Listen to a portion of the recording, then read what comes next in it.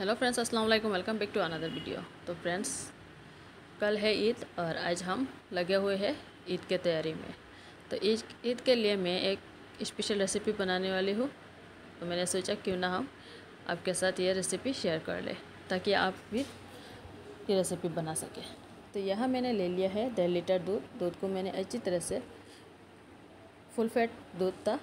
तो मैंने इसे अच्छी तरह से बॉईल कर लिया। बॉईल करते करते ये लगभग आधा लीटर हो गया है। तो फिर मैंने इसमें डाल दिया मिल्क पाउडर। मिल्क पाउडर को मैंने पानी में मिला लिया और फिर मैंने डाल दिया। अब मैं डालने जा रही हूँ मैदा। मैदा मैंने दो चम्मच डाल दिया। इसे मैं अच्छी तरह से मिला लूँगी। दूध को मैंने कम आँच में रखा है। मुझे थोड़ा कम लग रहा है। जितना गाढ़ा होना चाहिए, उतना गाढ़ा नहीं हो रहा है तो मैंने सोचा क्यों ना हम और एक चम्मच डाल दें। तो अब मैं इसमें और एक चम्मच डाल देती हूँ।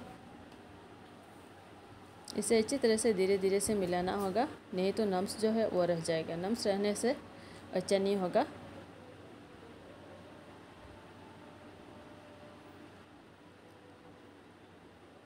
फिर मैंने वन टेबल स्पून डाल दिया। मिल्क पाउडर जो मैंने लिया है, मिल्क लिया है मैंने डेढ़ लीटर, उसको उबाल के मैंने आधा लीटर कर लिया है फुल फैट मिल्क था और मिल्क पाउडर जो है वो मैंने पूरा एक कप मिल्क पाउडर लिया है, उसमें एक कप पानी डाल दिया है, फिर मैंने मिला लिया और उसमें डाल दिया। मैदा मैंने तीन चम्मच डाल दिया। अब मैं इसमें डाल रही हूँ मिल्क मेड। अब चाहे तो मिल्क मेड डाल सकते हैं और चाहे तो चीनी डाल सकते हैं। चीनी डालने से क्या होता है फ्रेंड्स दूध जो है वो थोड़ा पतला हो जाता है।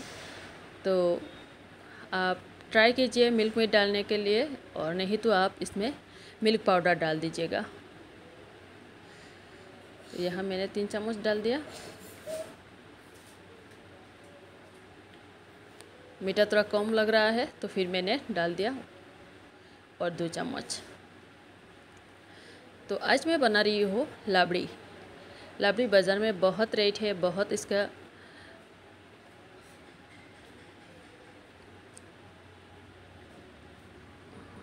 बाज़ार में अवेलेबल कम रहता है, ज़्यादा रहता भी नहीं है और रहता है तो उसका रेट बहुत ज़्यादा होता है और ये खाने में भी बहुत टेस्टी और लाजवाब होता है। तो हम कम खर्च में घर में बना सकते हैं और उस तो नहीं बनाते हम, ईद आने से या कोई फेस्टिवल आने से हम बना सकते हैं इसे।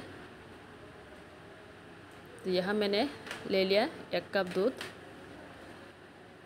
अब मैंने डाल दिया यहाँ थोड़ा सा सेवई। आप चाहे तो वाइट सेवई भी ले सकते हैं। मैंने थोड़ा सा फ्राई कर लिया सेवई को। तो यहाँ मैंने चार चम्मच सेवई डाल दिया है। अब मैं इसे अच्छी तरह से मिला लूँगी, फिर मैं इसमें डाल दूँगी फ्रेश क्रीम फ्रेश क्रीम चार से पाँच चम्मच डालना पड़ेगा आपको। अब मैं इसमें ऐड कर दूँगी थोड़ा सा चीनी।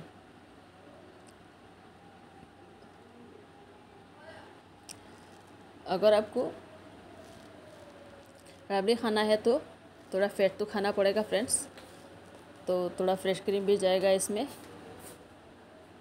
और मिल्क मेड यानी शुगर जो है उसका मात्रा भी ज़्यादा होगा। इसमें मैंने डाल दिया केसर केसर डालने से क्या होता है कलर बहुत अच्छा आता है, बहुत बढ़िया कलर आता है। ड्राई फ्रूट्स वगैरह इसमें नहीं डालते हैं। डाल दी चीनी।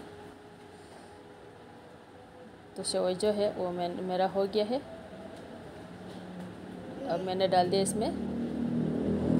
इसको डाल दिया मैंने मिल्क में, जो मिल्क मैंने पहले बना के रख दिया था।